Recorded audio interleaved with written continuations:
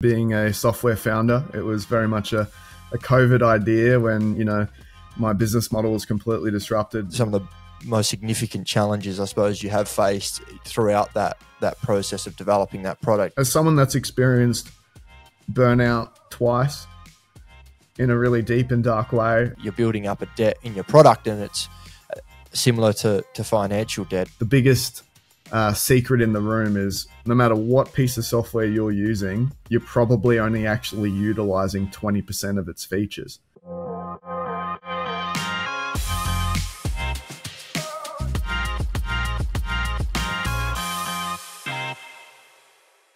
Hey there, welcome to the very first episode of Pulse brought to you by Intuji.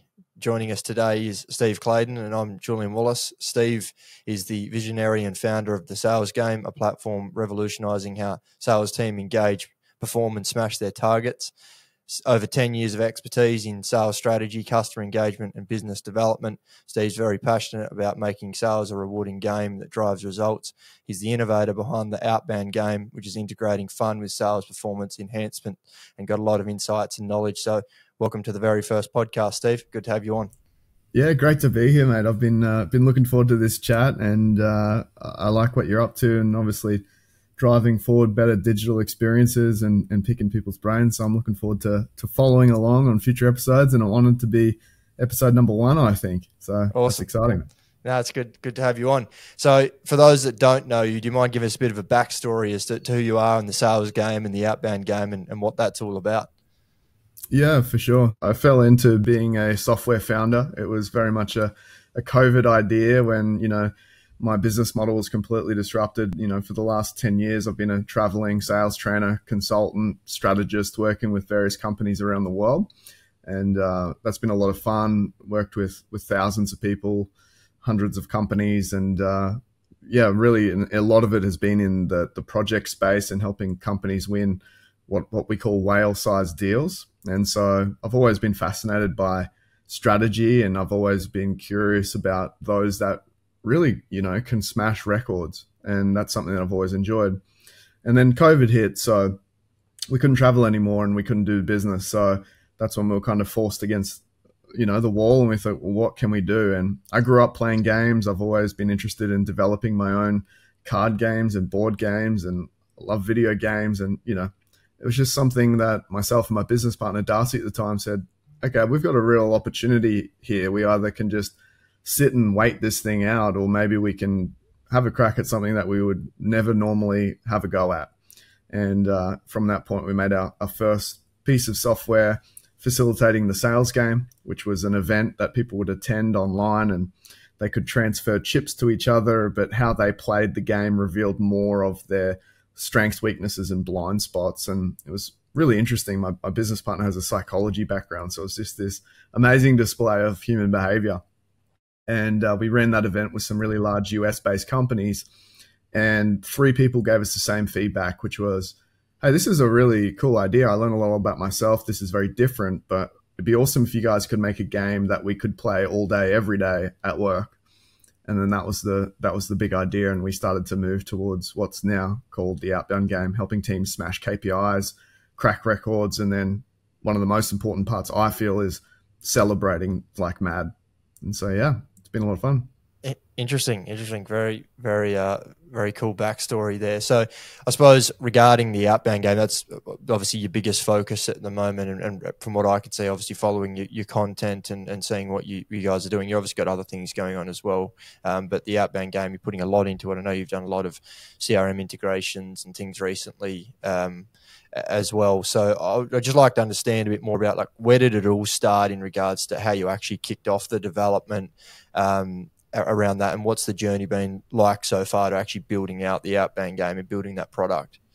mate it's been easily the the hardest venture i think i've ever had to undertake. Um, the classic thing in, in software development or technology development is you know it takes 10 times longer than you expected and costs 100 times more than you expected. And i probably went into it being a little little naive thinking no we can figure this out. You know we can we can start developing this and find a good team to help us build this but it's certainly been a, a, a mammoth journey i found with technology and software, you run into a million invisible problems that you can never really forecast or see, and you just have to kind of go through it uh, to get there. But how it all started, mate, is our accountant actually reached out to us and said, um, "There's a ten thousand dollar grant available they can use for digital transformation. You guys might want to have a crack at this."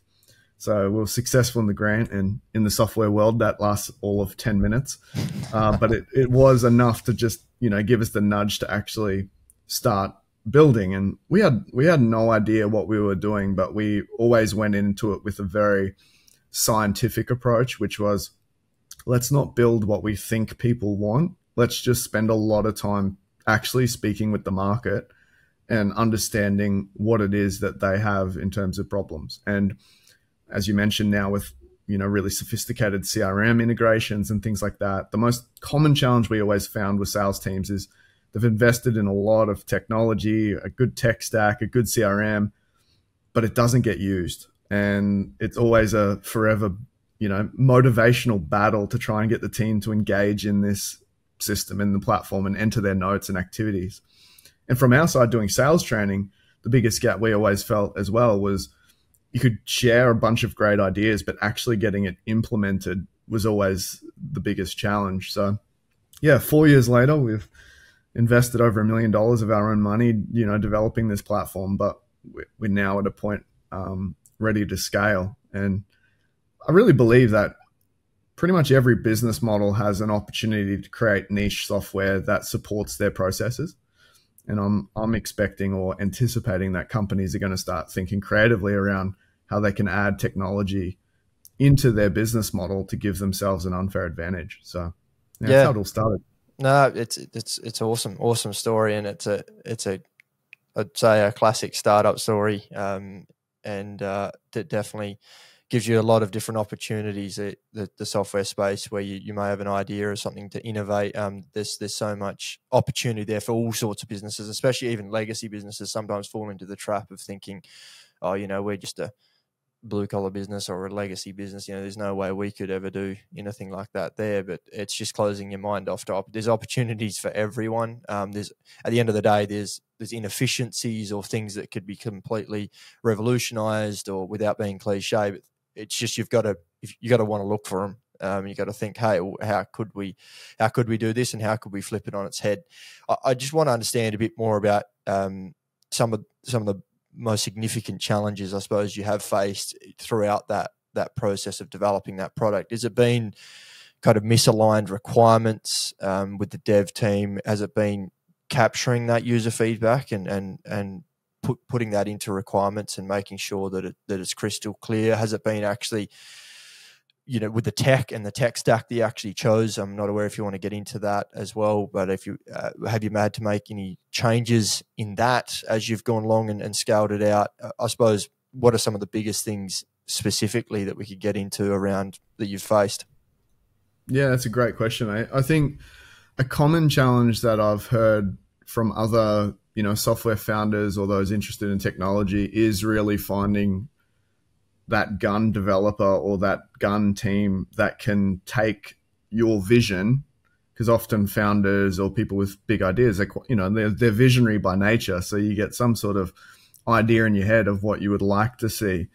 But we've found a lot of people fall into the the communication breakdown where they try and share that vision with the development team the dev team go away and spend countless hours and ridiculous amounts of money building something.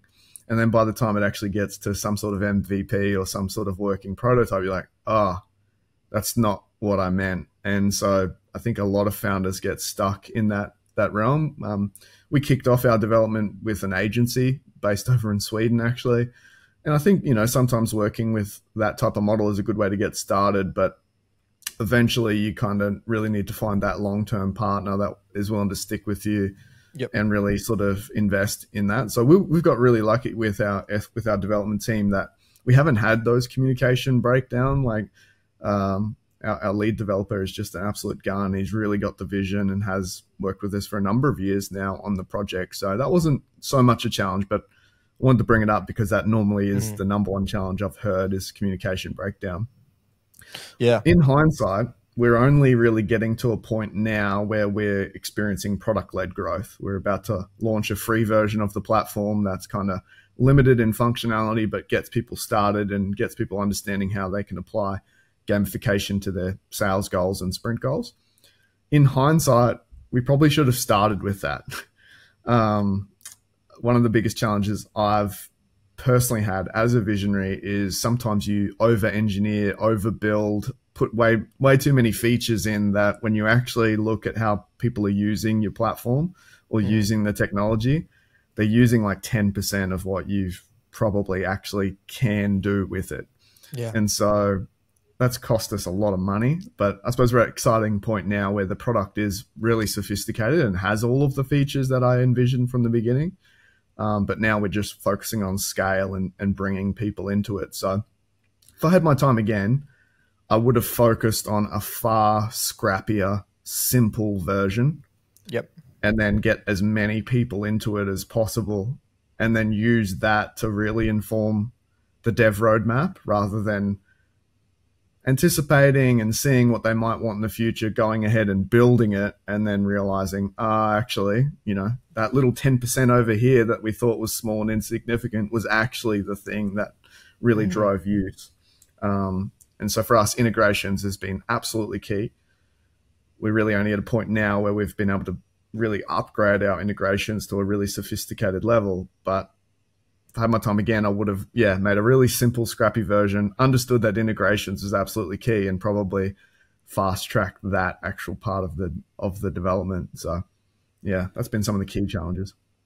Interesting, interesting. I want to understand your perspective on what you've learned, right? What you may have thought before jumping into a SaaS product like this or a software development project um, or a venture, where what's changed in your mindset. Uh, that's what I find fascinating between people from the outside that have never actually been involved in something, even a even difference between something at a smaller scale to a larger scale. But what's changed? What what did you think before around kind of software products or ventures and how it all was meant to work and, and, and what do you think now what's the biggest learnings for you personally there uh, the biggest thing i've had to learn and it kind of flows on from that previous answer is the concept of surrendering to simplicity um, as a as a natural salesperson as a marketer as a content creator you know we can sometimes get caught up in the world of hype and you know find really colorful and uh, brilliant ways to say how cool your little widget is or whatever it may be.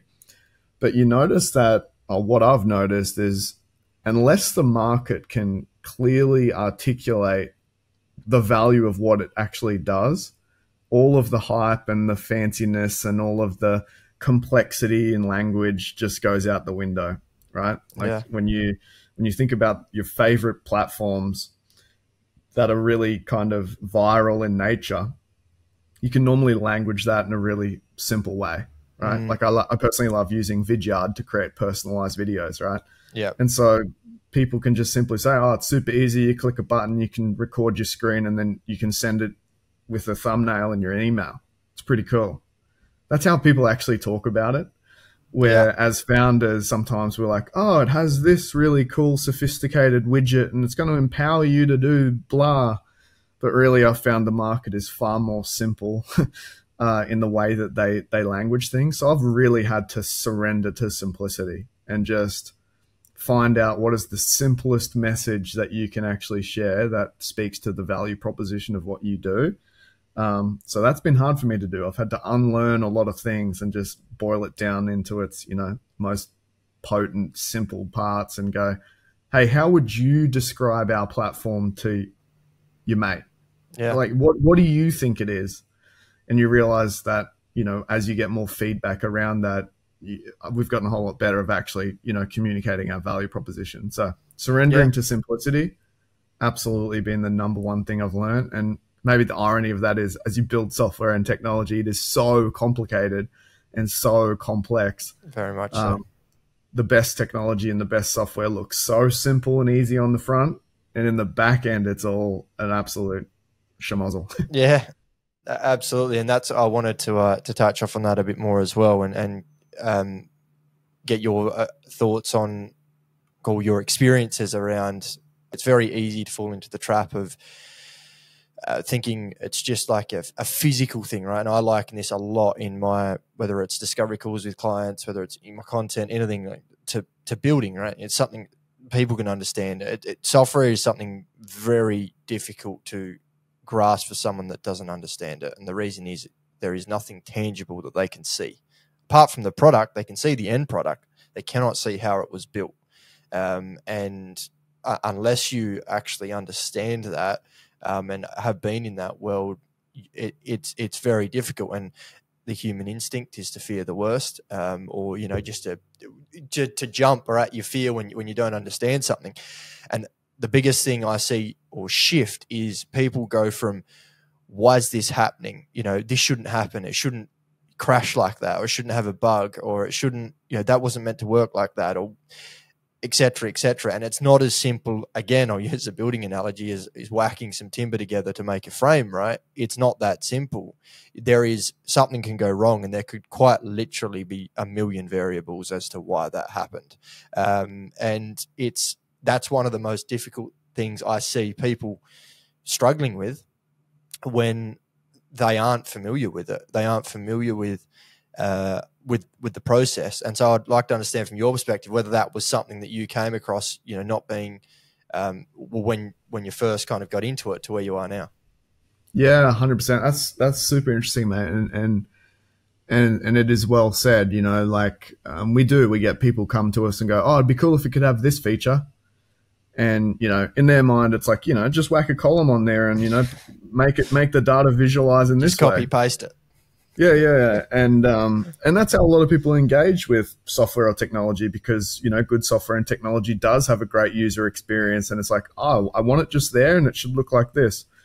Um, but as you start to learn a little bit more about you know all of the layers of code and what connects with what and what tables link with what, your brain does go into a bit of haywire going, yes, it would be great to just have that simple column, but to do that, it's going to require a whole lot of engineering. And so what we've what we've uh, had to learn to do over time is not race straight into the next piece of development. We did that at the start. So any you know one person would go, "Oh, it'd be cool if we could do this," and then I'd immediately go, "All right, sweet, it's on the dev roadmap. Let's start building it." What I'm now starting to learn is practicing that again scientific approach of when the sample size is big enough and if it actually makes sense, yeah, of course, it's going to happen and we'll fast track it. So it's that patience I've had to develop to go, I can take your idea, I'm to I'm going to document that idea, I'm going to validate that idea, and if it's shared by enough people, we'll do it. Um, yeah. But if not, we're not just going to run in a million different directions because we did that, and then all of a sudden you've got this very wide but shallow uh, piece of technology yeah. instead of you know narrow, narrow and deep. Yeah, it's very. I've heard it, heard it heaps and heaps and heaps. It's it's known as, and you're probably aware of this, but sales led development, and, essentially what it le- leads to is that people have got a product, and they may even even at a smaller scale, from a startup, a founder section, where they are doing that sales led development, or you could have, um, you know, bigger SaaS companies or bigger enterprises where their sales teams are like, yeah, yeah, yeah, we, we can do that to, in order to, to close deals, right? naturally, they they want to close deals, they want to get things across the line, and people are asking for features. It's like, yeah, yeah, we can do that.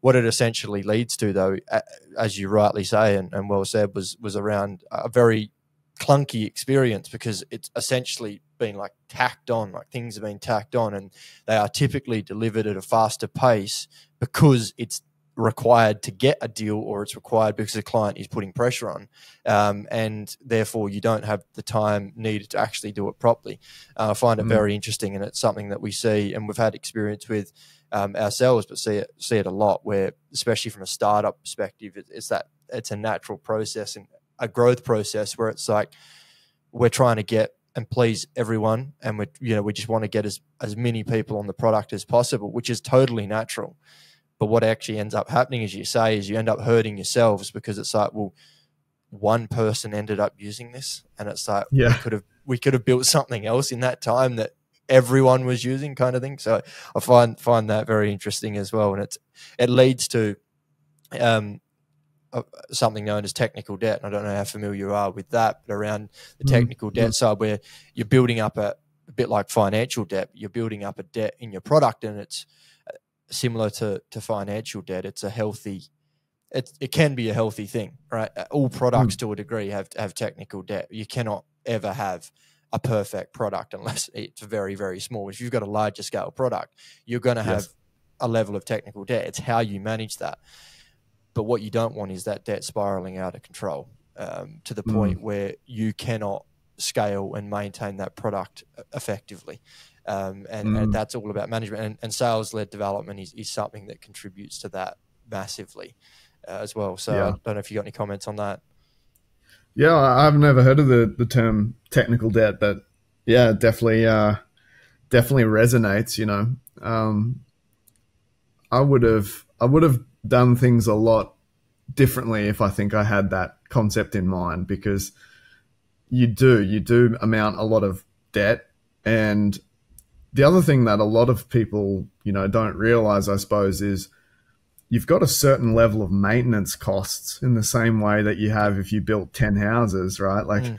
instead of just having one really solid piece of technology, one solid house, you know, if you build 10 different things, you also have to maintain and upkeep and you know, have all of that parts running. And I think the Pareto principle just really comes to shine in, in every area of life, including technology. Like, I think the, the biggest uh, secret in the room is no matter what piece of software you're using, you're probably only actually utilizing 20% of its features.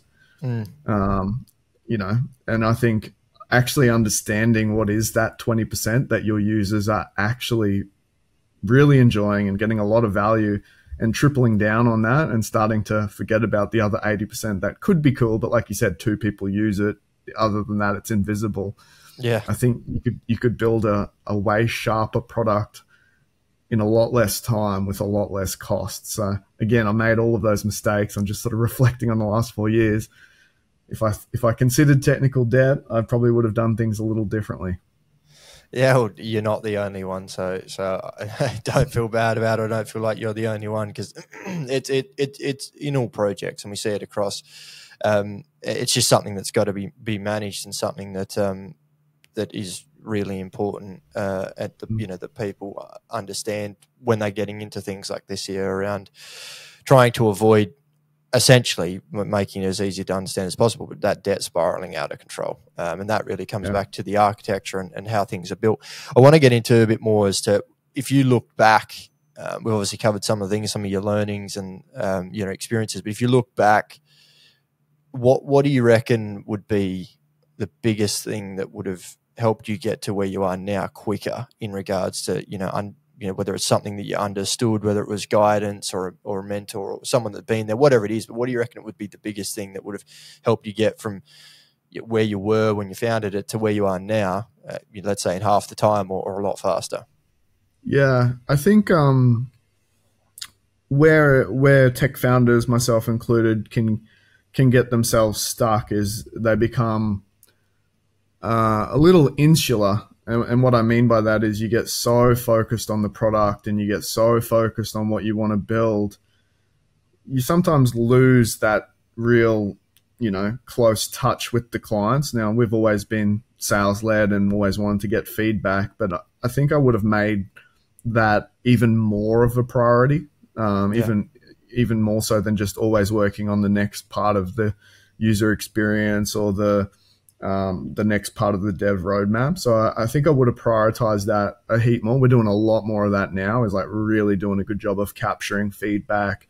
Like one thing that's made a game changer for me is like jumping on Zoom calls with our clients, getting them to share their screen yep. and be like, just run me through like what do you click on a lot? What do you, where do you go? How do you use it? And actually just mm. seeing what they click on, what they don't click on, what they realize is there, what they don't realize is there, has been invaluable for me. Um, I used to just do it in a conversational way of like, hey, tell me what you like about the product, what don't you like, what you wish it had.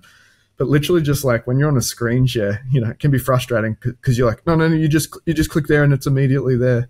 Yeah. Um, but to them, they're just like, oh, I didn't even know that. So it just gives you huge insight. So I would have done a lot more of that kind of screen share interview, like run me through how you're using this day to day and where you click in and all that sort of stuff.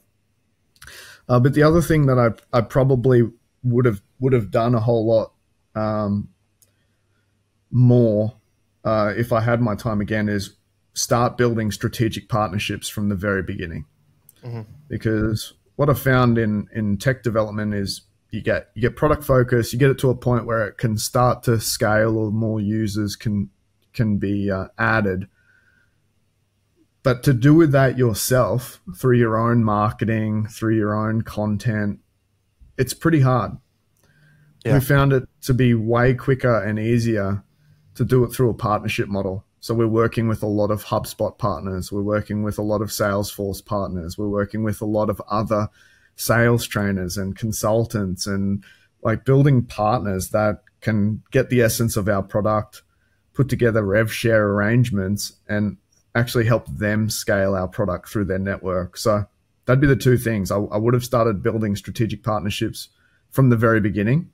Uh, I had a fear that there's no point building those partnerships until the product is finished. But you know, I'm sure they would have given us invaluable feedback mm. if we had them on board from the very beginning. Uh, and the second thing is, I would have done a lot more screen share, like actually show me how you're using the product from the beginning. I reckon that would have fast tracked years off of our development. Yeah, yeah, very very interesting. Uh, I uh, I definitely agree with those points and understand them, and it, you only learn from experience, right? Um, and it's it, it's uh, something that we see. I'd like to get into a bit more around um, just understanding a bit more of your philosophy in the gamification of sales, um, and a bit more as to where that came came from when you were uh, when you first came up with the idea around. Obviously, you were a sales trainer, etc., but where kind of it sparked to go. Hey, if we can make this a fun, you know, a fun fun game. Obviously, that has now eventually led into your SaaS product, but more just the concept behind it. Obviously, was was gamifying sales and and where that came from, and understand that a bit more. Yeah, for sure. No, it's um, it's been a fun journey, right? So, motivation has always been something that has been a challenge for our clients, and I get a lot of people reaching out to me and a lot of it is mindset related. They feel like they're in a funk. They feel demotivated. They feel tired. They feel bored. They feel burnt out. Uh, leaders are stressed out because they feel like they have to micromanage their team and you know give them a motivational speech one day and then hit them with the stick the next. And it was just this common through line of of you know mindset motivation. How do you actually stay motivated? You know for years i'd was recording, you know, Monday motivation videos and sharing that with the my list. And now we're doing the Monday motivation meeting. So there was always this through line of motivation. And it got me thinking, where on planet Earth is there no motivation problems? And it got me thinking about the arcade. I've got mm. two young daughters. We spend a lot of time at our local arcade and we love it. You know, you spend a yeah. hundred bucks like that they love it. I love it. You see people of all ages, all backgrounds. There's just this hunger and drive. There's no motivation issues at the arcade. It's more the yeah. opposite of like, give me another go, give me another go. Oh, I can do that. Let's have a crack at that. It's this like insatiable hunger. And I looked at the model and I thought, why is that so? And I was like, well, it's pretty simple, right? You got simple games that are simple to do if you're good at the game, you get more tokens, and when you got more tokens, you get a better crappy little basketball hoop at the rewards kiosk at the end, right? Like yeah. adults love it, kids love it. It's this idea of like I earned these coins by my own abilities and my own talents and skills, and then the more I get, the better prizes I can receive. And I was like, well, that's pretty straightforward. What if we made the workforces arcade? What if we turned sales into something very similar where you get tokens and coins for every little action you do. You get big bonus multipliers if you hit, you know, the three point before the timer runs out, sort of thing. And what if we made our own rewards kiosk where people could just cash in the coins at the end for the prizes that truly lit, lit, lit them up and motivated them. And it was a combination of that as a model and then talking with heaps and heaps of leaders and salespeople, um, asking them how well they celebrate when they hit big goals. And I found that most people absolutely suck at celebration. They work super hard. They might hit a record month in the business and then they have this like next syndrome, which is like, just do it all again, do it again and again and again. You might resonate with you. Like a lot of people feel yeah, this way. Absolutely. Yeah, 100%. Yeah. And I'm like, well, of course you're eventually going to get burnt out, bored, both. If you're just working super hard, you might even hit goals, but then you just move straight on to do it all again. Like, no one's going to enjoy that. Like, no one. And so I found the big gap was a lot of leaders weren't engaged with their team on a personal level. When we asked them, like, oh, how do you reward your team? Oh, we pay them big commissions. Great. What do, what do your teams spend your commissions on? no leader could ever tell me. It's like, I don't know what they spend their money on. I'm like, okay, well, this is a personal disconnect because they're not just working to make money. They're, they're, they're working to make money to fuel some sort of life that they want to lead. That conversation got awkward for leaders because they're like, well, how do we introduce that? And so the personalized reward store going, hey, Julian, if you smash all your goals and I could give you, you know, $250 worth of coins to spend on whatever you wanted guilt free, yeah. find the things that you would love but you can't justify. What would you love? All of a sudden, we realize, you know, Johnny's into fishing and Jenny loves painting, and you know, old Bud's always working on his project car in the shed every weekend, or such and such is a big foodie and they just love spending money on really nice food. And it started to bridge this gap of like personal fulfillment and work. And, you know, you might remember from the old sales adage, you know, every no is actually paying you money because it's yeah. leading to another yes. Like, I'm like, well, why don't we just literally physically show that, that you are getting a little bit of coins every time you make a call and you get more coins if you book a meeting and you get even more coins if you do something creative like sending a video personalized video or a lumpy mail and we just customize the game to suit the business goals the activities that they want to see more of and then we fill a reward store of personalized prizes and rewards at the budget of the company's choosing, and the game takes care of, of the rest. So that was the philosophy behind it. It seemed to have worked.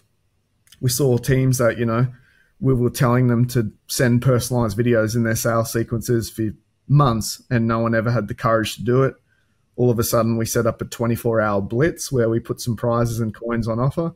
And one team, they sent 126 personalized videos in a day where the previous 10 years they had sent none.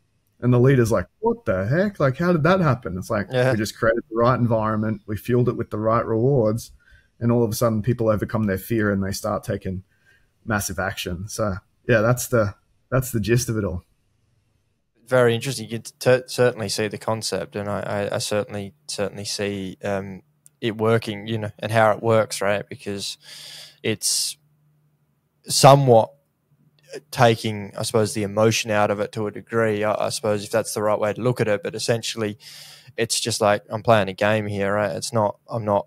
It's removing the pressure. I suppose is more the way what I'm getting is I'm playing a game. I'm just you know just need to hit these numbers, and I you know if I do this, I get rewarded, and and essentially a, a, a byproduct of that is success for the company, basically, um, because at the end of the day, if you do it obviously needs to be the right activity, but if it's frameworked and set up properly where they're doing the right activity, if you do it, uh, enough of that, you're going to get results, right?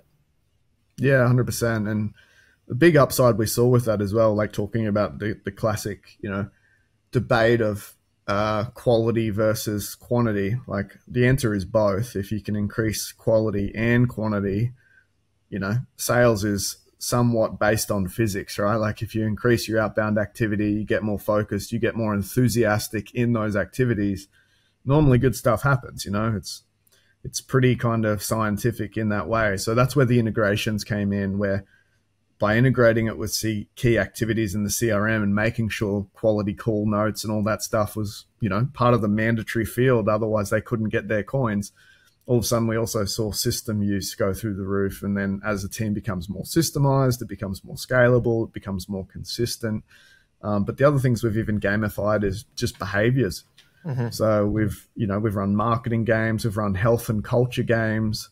A company ran a recruitment game where they were struggling to find key talent, so they put up a game for the entire company to say, hey, if you refer a mate in for a job interview, you get X coins. If they're a successful hire, you get huge coins.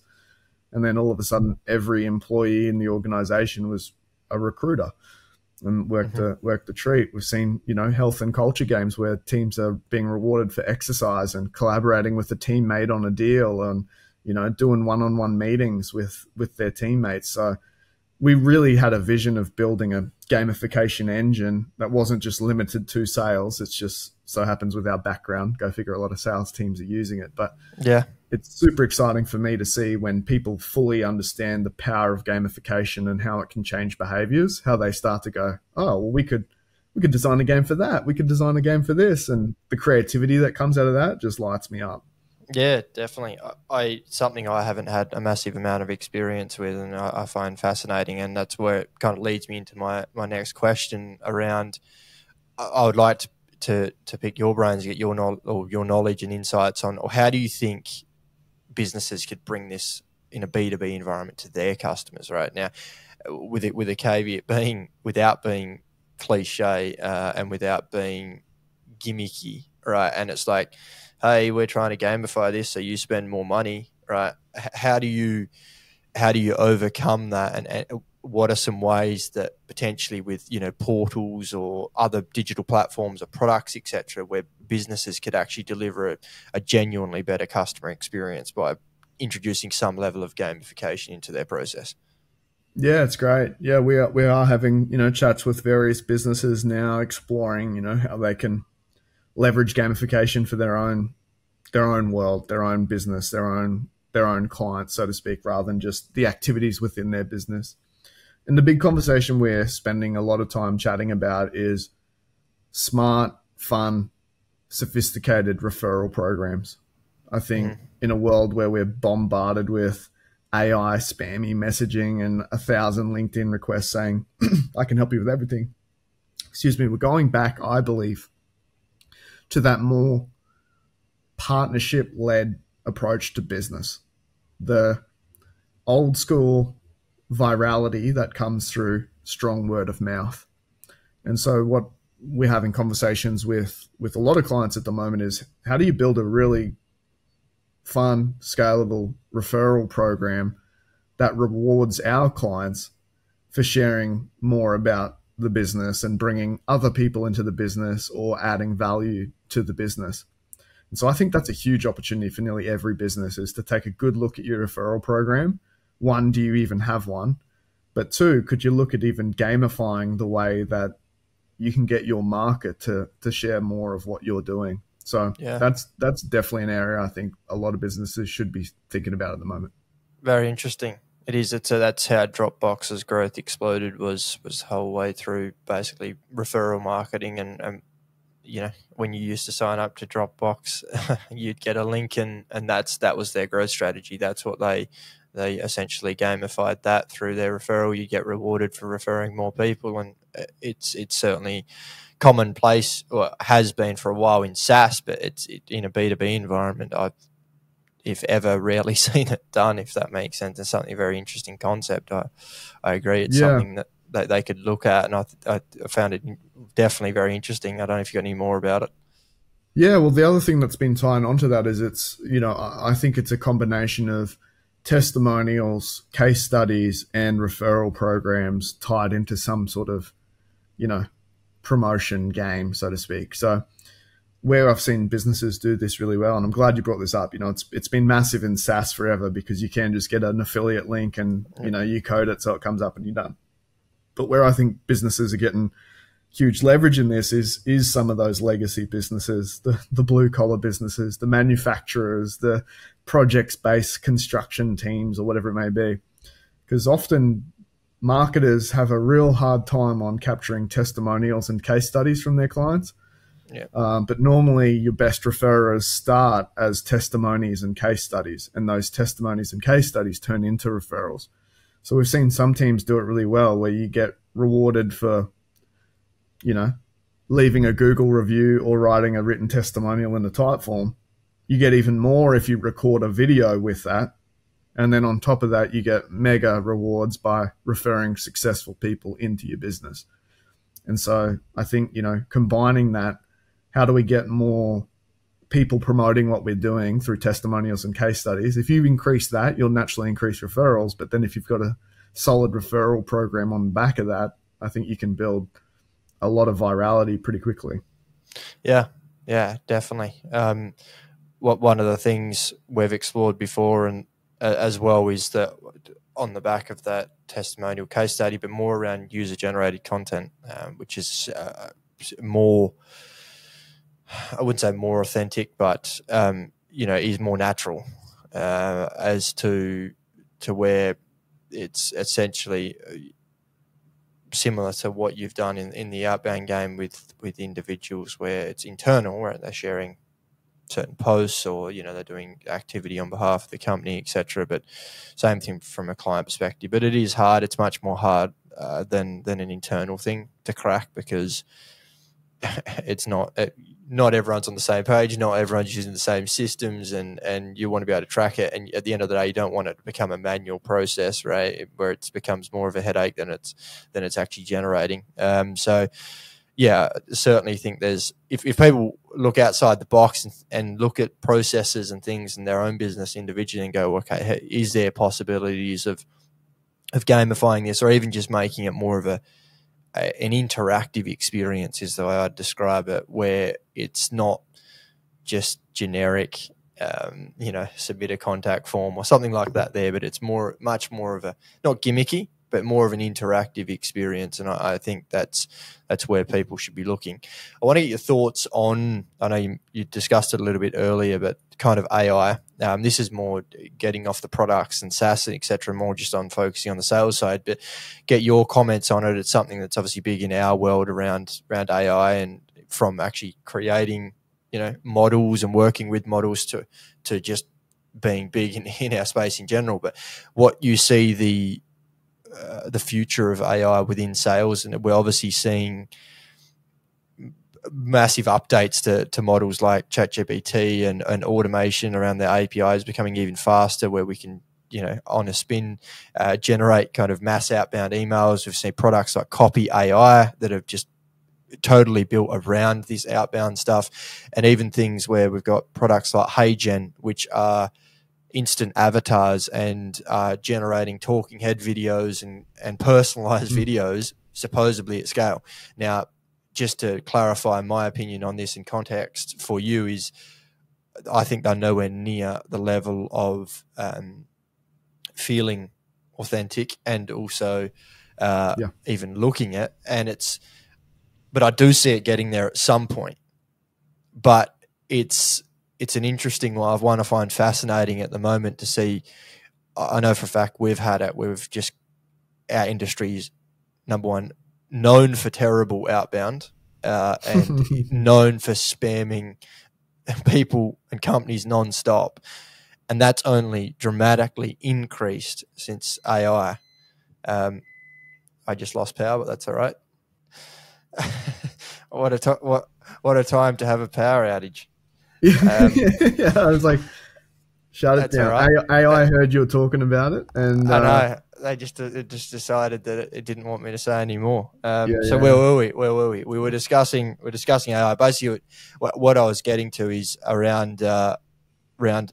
It's at the moment it's it's nowhere near where it needs to be. I do see it in the long term getting to that, but how do you stand out? How do you still make a difference and stand out. Obviously, AI just feels different. It doesn't feel the same, right? It's not. You can just tell. You, you you can you know when it's not. So I just interested to get your thoughts on it.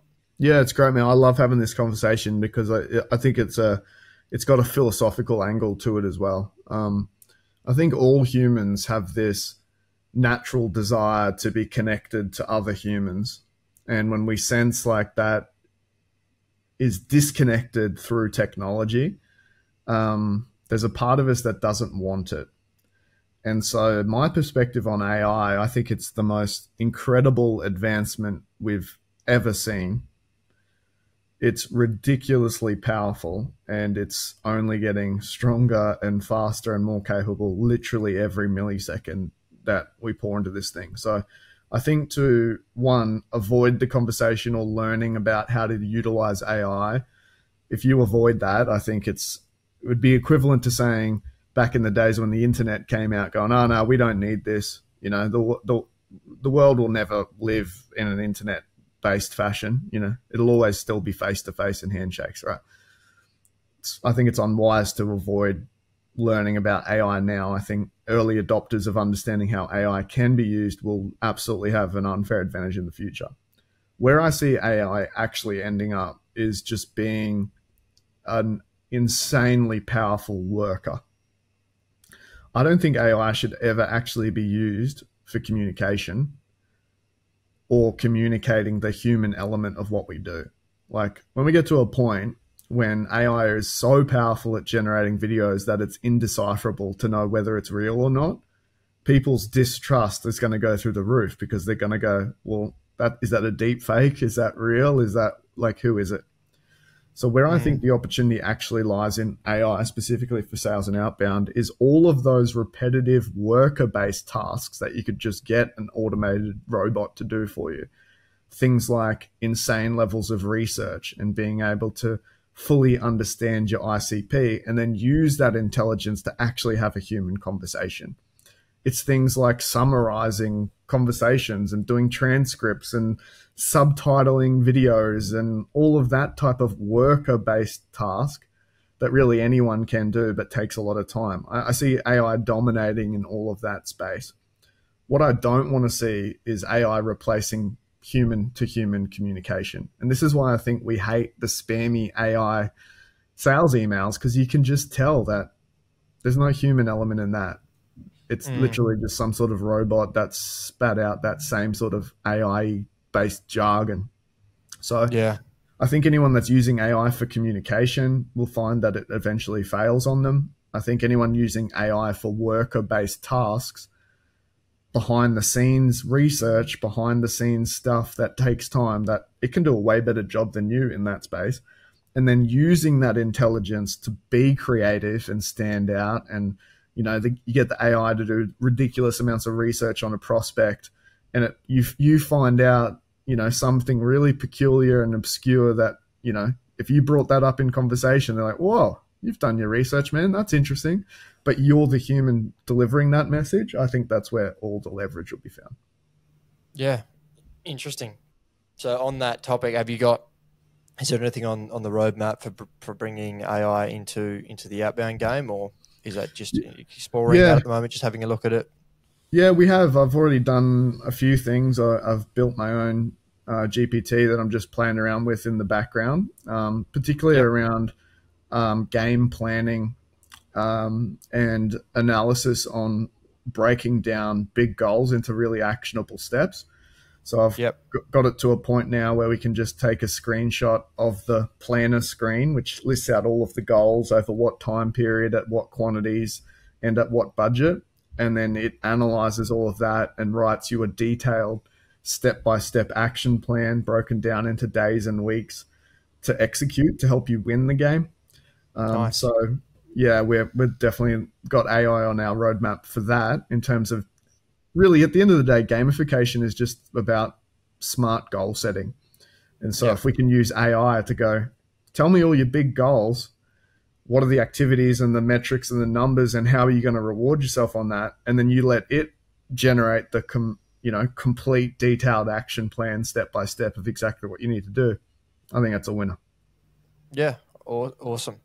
Um, I had one more point noted down. I just wanted to discuss about the outbound game and, and how you're pricing that at the moment and understanding your strategy around that. Are you pricing that per user? Is it you know per amount of activities, or how are you doing that at the moment? Yeah, we're we're currently pricing it based off yeah per user per month, um, and then we do onboarding packages depending on the level of you know integration that they want set up and we're currently, you know, very um, hybrid in our business model where yep. I, I didn't want to jump into the full SaaS led, zero human touch, click a button and get started on your own. Like, of course, long term, we'd love to be more and more, you know, product led growth or experiencing product led growth. But at the moment, we really want to give clients great experience. So we really support them in the onboarding, the setup, and the team kickoff calls to, to help them really drive that forward. So we're making some revenue based on the onboarding and the setup. And yep. then we have ongoing subscriptions. Ballpark, depending on the number of people, it's around $29 per player per month um, over a 12 month agreement. Um, but then where we're also getting some some good wins is we can align the game with particular training packages, playbook creations, you know, coaching and mentoring. And so that's currently our business model is yeah, bit of onboarding, integration, setup, support. We've got our subscription model, which kind of helps, you know, pay the bills every month. Yep. And then we're doing sort of bespoke training programs based on what they need and the gaps that they need um, solved for uh, in in the game. But long term as well, we see an opportunity in the platform. So with the reward store, it's currently user fulfilled. Um, so we just use it to structure the rewards and give them how many coins they need to claim it and all of the email notifications. Uh, but we've seen about 1.2 million dollars of rewards be paid out so far.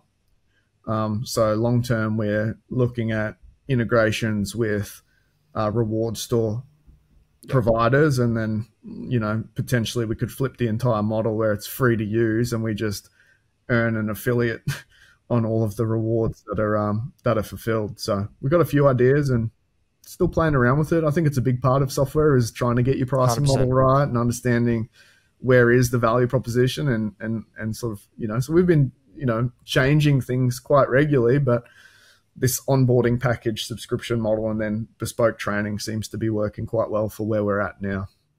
Yeah, definitely. The, the reason I ask is I know you mentioned well, you've mentioned product led growth quite a few times and trying to move to move to to that approach. Um, one of the things with with product led growth, it's not the only thing or the only way to do it, but is usage based pricing as well, which is essentially, you know, for you for you guys, it would be how how many how much activity or how many coins someone earns or, or, whatever it is. It's essentially that's what the business gets charged charged on, and that's the benefit for that would be, from your perspective, from a proposition, would be you only pay for what the activity. So there's a direct correlation between okay, you if you your team uses it heaps, you pay more, but you get more results. If they don't use it all, you pay nothing. Mm. Um, and so it's it's a very interesting strategy around basically it's you you pay for what you use. So you use little, you don't you don't pay very much. You use a lot, you pay more. But at the end of the day, you can't complain about it because you're getting like you're getting results out of it, right? Like as in uh, that that's the point, and and it is.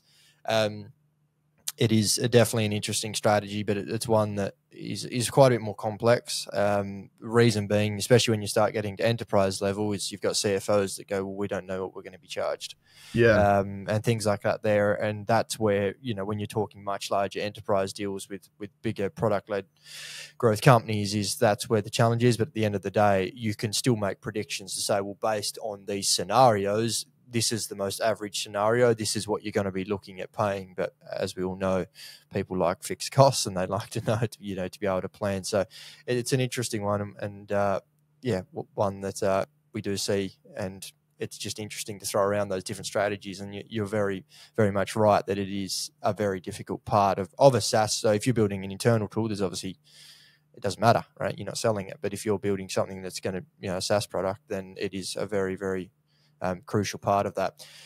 Uh, appreciate the conversation we've we've had, um, and I wanted to uh, we've we've got a f- finale segment that we do, and a nice. couple of questions um, that I, I, wanted to uh, to ask you and uh, get get your comments on. So the first one is, what's one thing you believe businesses are not paying enough attention to right now that will be critical in the next five years?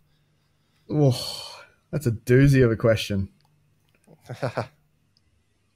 I think it's a bit of an unorthodox answer here, but I think in the change of demographics, you know, we've we've hit this tipping point now where over half of the global workforce is made up by millennials. According to Salesforce, only less than 28% of reps believe they're going to hit quota. And over 70% are currently feeling disengaged in their work. I think this is a major problem that leaders aren't thinking about anywhere near enough, which is what does the future of work actually look like? What culture do we want to build? And how do we attract and retain the next generation of talent?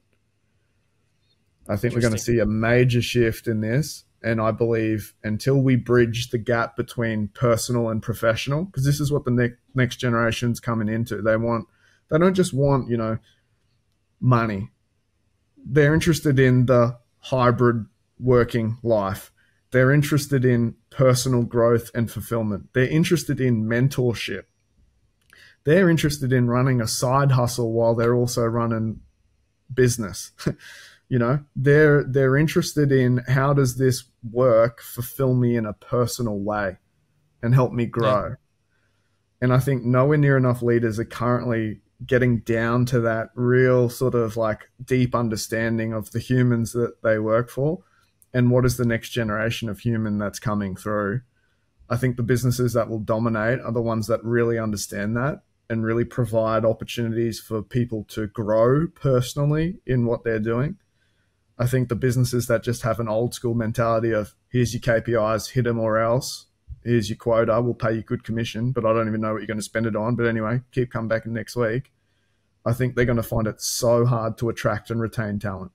And so, yeah, yeah interesting. I think, as you say, something that comes down to it, a relationship, right? As in like a, a, a personal relationship. Where at the end of the day, um, there's no point trying to make out like it's a family, right? As in, but at the end of the day, you still you're there. It's where you spend most of your life. You, you want a good culture. You want relationships, right? And you want people to to uh to be to be looked after um, and to feel one of the biggest things is to feel that if people feel like they're stagnant and they're not getting ahead, at least from, from my experience, that's when problems start to come. Like you soon, you know, demotivation, all of that starts to creep in, um, and then you know you've got bigger issues than.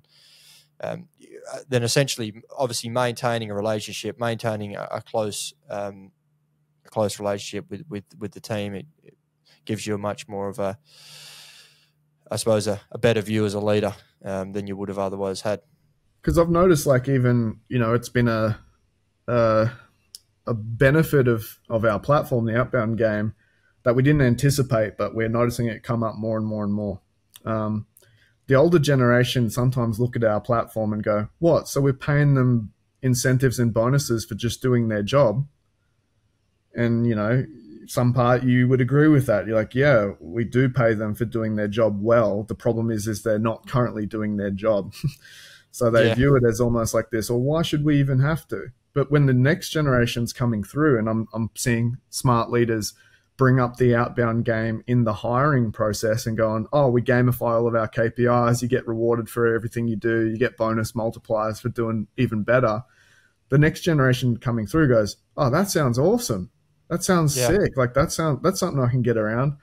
Um, whereas they go to the next business and they're like, "Here's your KPIs. You got to do your job, or else." They're like, "I don't want to work for you." That, that's that's not where I want to be. So that's the kind of differences I'm yeah, noticing in generation. Yeah, very very interesting.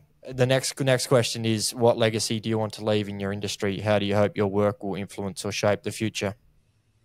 That's awesome, man. Um, as someone that's experienced burnout twice in a really deep and dark way as someone that's struggled with mental health and you know being vulnerable in a place of suicidal ideation and addiction and mess i see so much pain and suffering happening in the business world of burnout of boredom of people just losing all purpose in their life so my biggest legacy I want to leave in this industry is that we can create a space where people do celebrate and people are recognized for what they bring and they can find personal fulfillment in hitting records and achieving big things.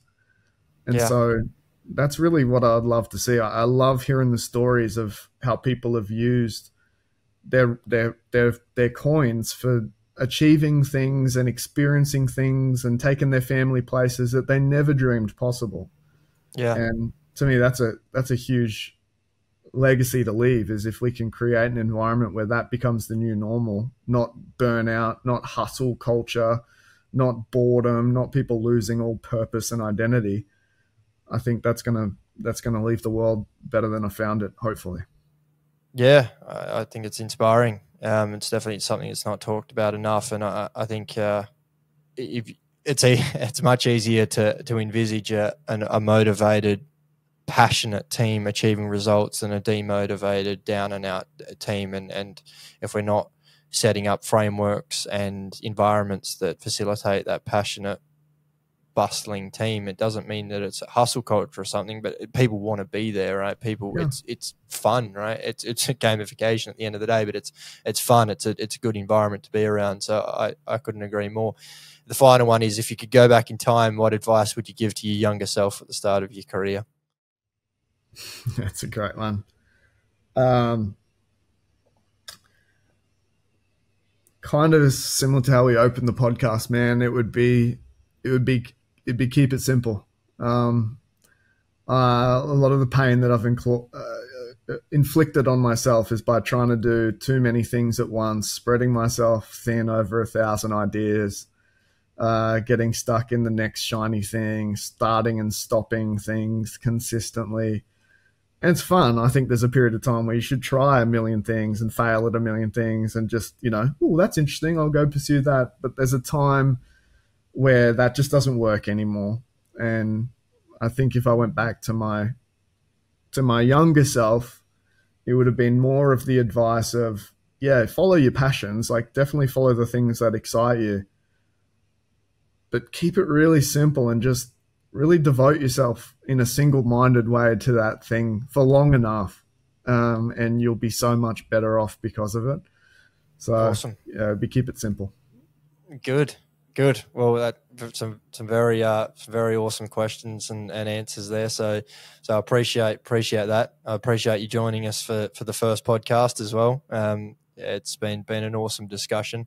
Some very very insightful um, things from from your side as to the, the growth of the, the business and the growth of the product. So I wish you all the best with that. For anyone listening and wants access to more resources, they can head over to our learning center at intuji.com uh, and get access there. And once again, thanks, Steve. Appreciate appreciate you coming on for the first uh, first episode. No doubt we'll, we'll have you on again in the future. Mate, I really appreciate it. I've, uh, I've really enjoyed the chat, mate. And yeah, congrats on the podcast. I'll be uh, following along and looking forward to listening to future episodes. So thanks for having me. Appreciate it. No worries. Thank you.